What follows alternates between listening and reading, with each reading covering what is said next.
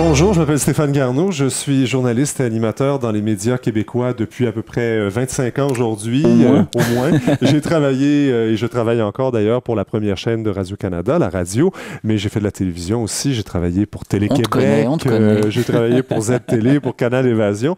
Et depuis peu, je me suis associé à Christian Aubry, qui lui aussi est journaliste, mais aussi producteur d'émissions sur le web, de web diffusion. Il a travaillé sur différents événements et on a pensé s'associer tous les deux, mettre nos deux expertises en commun pour faciliter vos communications à vous dans le cadre corporatif et événementiel. Oui, parce qu'aujourd'hui, maintenant, grâce aux médias sociaux, les entreprises, les organisations, les salons, etc., sont en mesure de créer leur propre contenu média, mais parfois, ça leur prend un petit coup de main pour ça. Ça leur prend un petit coup de main parce qu'on peut aujourd'hui, grâce à la légèreté des dispositifs techniques, euh, déborder du cadre strict du salon de la conférence pour diffuser à un public plus large sur Internet avec des interactions avec les gens qui vous regarderaient, qui regarderaient votre conférence sur Internet éventuellement par le biais du clavardage, par exemple, s'ils ont des questions à poser.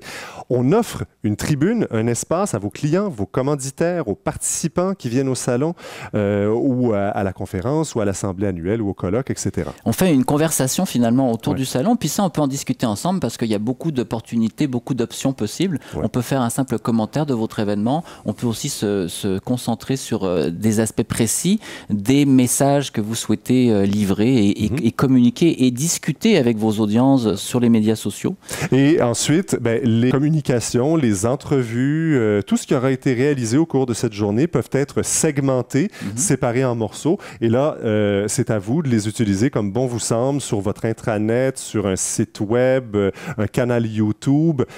toutes ces entrevues, tous ces éléments audiovisuels vous appartiennent. Et ça vient nourrir votre identité numérique, comme on dit, mot à la mode. Ça aide aussi beaucoup au référencement de vos contenus. La vidéo est très importante pour le référencement. À votre rayonnement en général, mhm. euh, ça peut susciter l'intérêt euh, de vos partenaires, commanditaires, clients, euh, etc. Donc, c'est une espèce de solution clé en main qu'on vous propose. Voilà. Alors, tout est là, les caméras, les éclairages, les micros, on s'occupe de tout. Et Stéphane, donc, anime tout ça avec brio et main de maître. J'anime tout ça le plus, de la façon la plus compétente possible, mais ce que je sais, c'est que tous les deux, euh, une de nos spécialités, c'est l'organisation de l'information, on la synthétise, on la vulgarise pour qu'elle soit accessible au plus grand nombre. Alors pour nous retrouver, eh bien vidéopresse.tv, n'hésitez pas à nous contacter, ça nous fera plaisir de vous répondre. À bientôt, au plaisir.